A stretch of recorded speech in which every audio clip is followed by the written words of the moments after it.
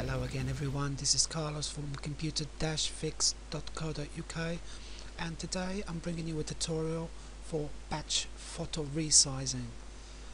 All the software involved is freeware and you can get it from the author's website. So you launch Google and type in the box high quality photo resizer and click enter. The link we're looking for is by naturpic.com and it's this one here high quality photo resizer so we click on this link and we get this website okay the latest version at the time of recording is 5.02 and you can download it from this link here.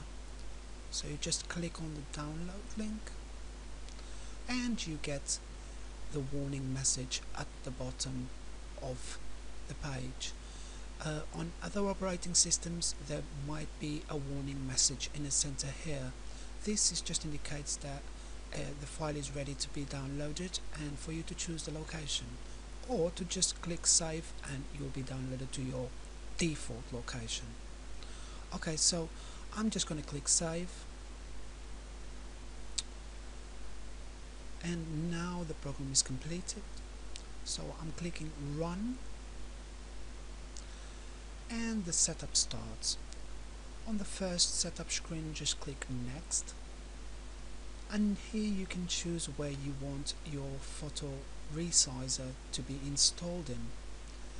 If you install in program files then just you don't have to do anything just leave it as standard. And click next. Okay here you can create the shortcuts and you can rename them and click next.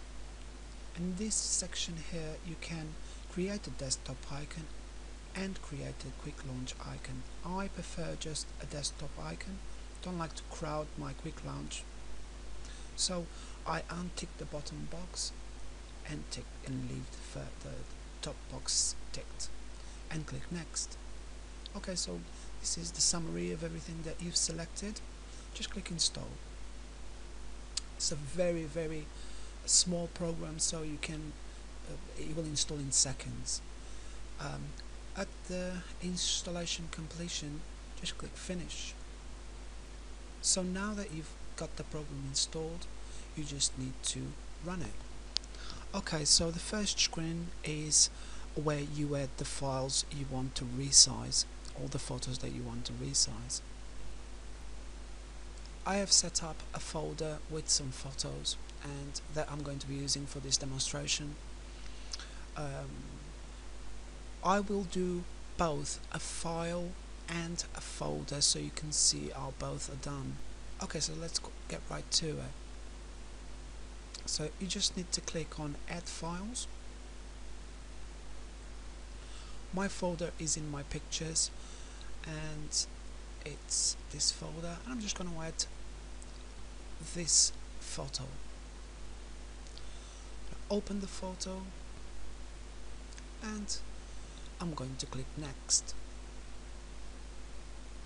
On step 2 you will um, select where you want your output file to be saved to.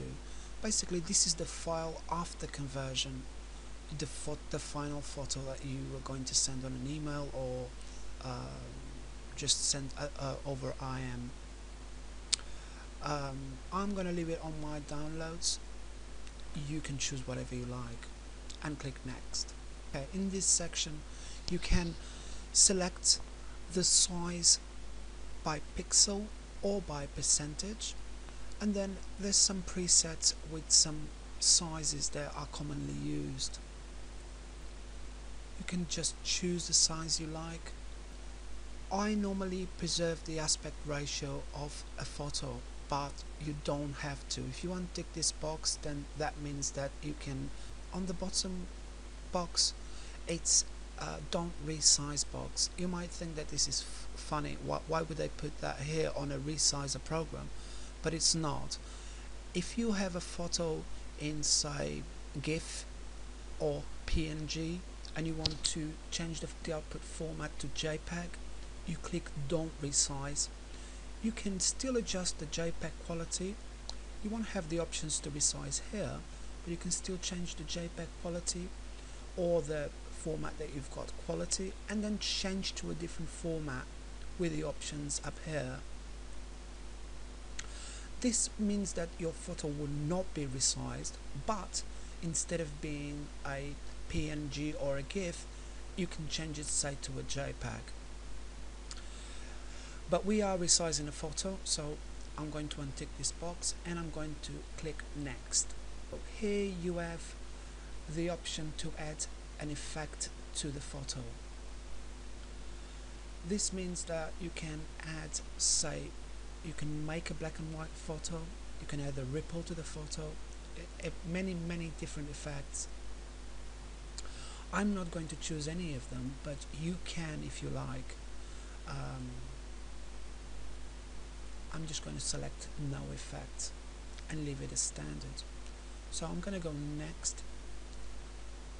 You can also preview or reset your changes once you're ready and you've made all the selections required click next. Now if you if you click the start button this start button your photo will start resizing.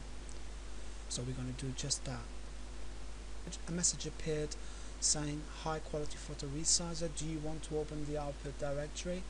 We're going to see the final product so I'm going to select yes okay so this is the final product and as you can see the photo is now 90.7 kilobytes out of uh, if I'm not mistaken 3 meg.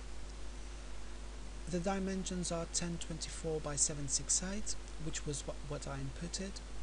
And the quality of the photo is still very good but a lot smaller and easier to send on an email. Okay so this completes this part of the tutorial I'm going to start a new task and this time I'm going to add a folder. So the folder that I'm going to choose is the same folder that I used for this test but I'm going to choose the whole folder instead of just choosing an individual picture. And here we go. So all of the pictures inside of that folder are now here and ready to be converted we're going to click next. I've explained to you about this before so any option that I explained before I'm just going to carry on because it's going to be exactly the same. So next the same thing here click next and next and start resizing. So now it's doing a batch resizing of all the photos within that folder. This is something that you can just leave it.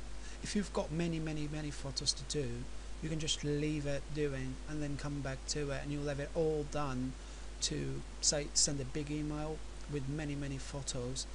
Because photos are 90 kilobytes the and some emails are now uh, support now 25 megabytes you can send you know dozens of photos this way. So this concludes my tutorial thank you very much for watching and I'll see you all in the next video